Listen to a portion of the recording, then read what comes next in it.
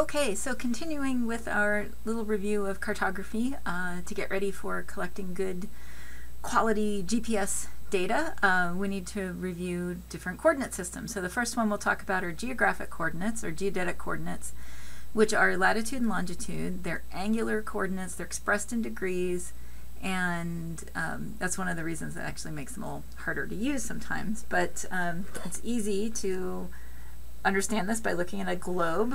Um, we have the poles, we have the equator.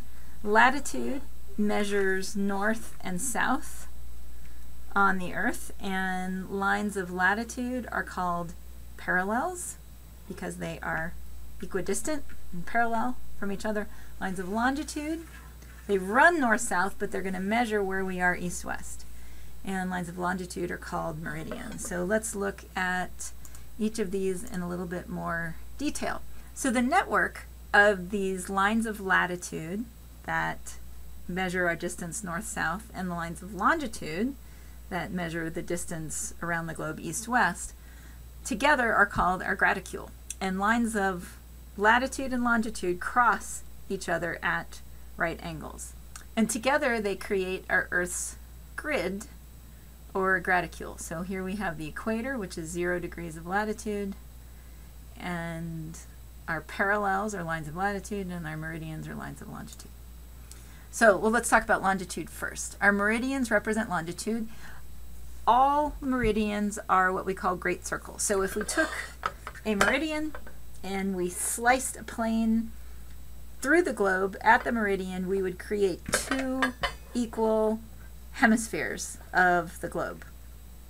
So a great circle cuts a sphere in, in two equal halves. Uh, zero degrees of longitude is at the prime meridian, which goes through Greenwich, England. And that has a value of zero degrees of longitude. 180 degrees is opposite on the other side of the globe and that's 180 degrees.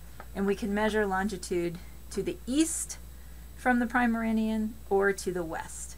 So here in Colorado, we are west of the prime meridian. So when we express our longitude, we always have to also say that it's west, or sometimes we can use the minus sign. So we can say it's minus 108 degrees of longitude. So notice that our meridians are spaced farther apart at the equator, and as they move towards the poles, they get closer and closer together. So meridians, lines of longitude, are not parallel to each other, but they do cross the parallels at a right angle.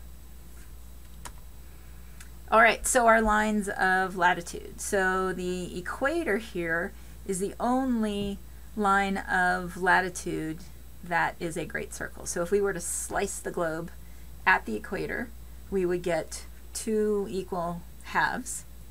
So the equator is a great circle. That is our zero for latitude. If we move north, then we're increasing in latitude. If we move south, then we have to designate that we're headed south, or sometimes we'll use a negative sign there.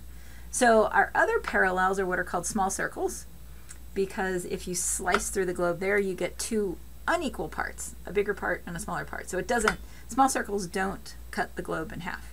Parallels are always equally spaced, they're always parallel to one another, and they're always the same distance apart. So geographic coordinates are expressed in angles because they are spherical coordinates.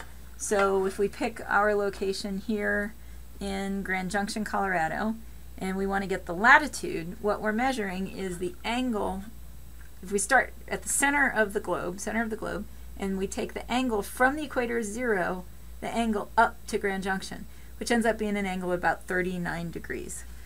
So our latitude is about 39 degrees north. And then to get our longitude, we from the center of the earth, we're going to look at the angle from the center of the earth starting at um, the zero meridian and we'll go west till we hit Grand Junction and then ends up being about 108 degrees. So we're 39 degrees north, 108 degrees west. And this diagram here helps explain that a little better. So we go from the center of the earth, and this is showing the location of New Orleans. The latitude is the this 30 degree angle transcribed if we start at the equator and we go up 30 degrees, then we hit New Orleans. And if we start here at the prime meridian and we go west 90 degrees, we get to where New Orleans is.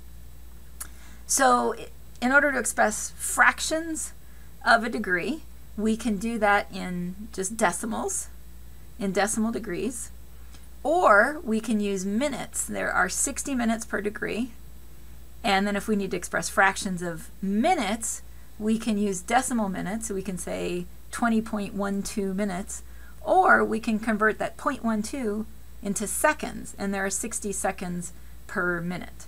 So uh, in your when you're using your Garmin, in the setup, do you remember we looked at the different uh, coordinate systems, and if we were at the very top of the list, the choices we had were degrees, minutes, seconds, degrees, decimal minutes, and decimal degrees. And that's just saying, okay, you're in geographic coordinates, these are spherical or angular coordinates, and there's some different formats we can represent the fractions of the degree in. And that's all you're choosing when you choose that. You're just choosing the format that you're going to present the data.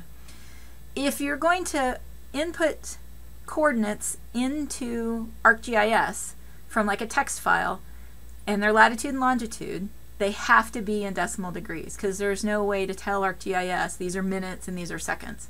So if you're going to take a text file and it needs to be in, in geographic coordinates in latitude and longitude, you want to import ArcGIS, it has to be in decimal degrees. Um, also, your GPS unit is storing the data, the raw GPS data is always in lat long and decimal degrees. If you say you want to look at the, your GPS data in UTM, it's going to take that raw data and it's going to convert it just to display it to you, but the raw data stored in the GPS unit is always in lat long and decimal degrees. The only time it gets changed is when we export to a shapefile. And that's when we actually change the georeferencing of the data. And we're, we're going to kind of review this over and over again in the semester because it's a kind of important point.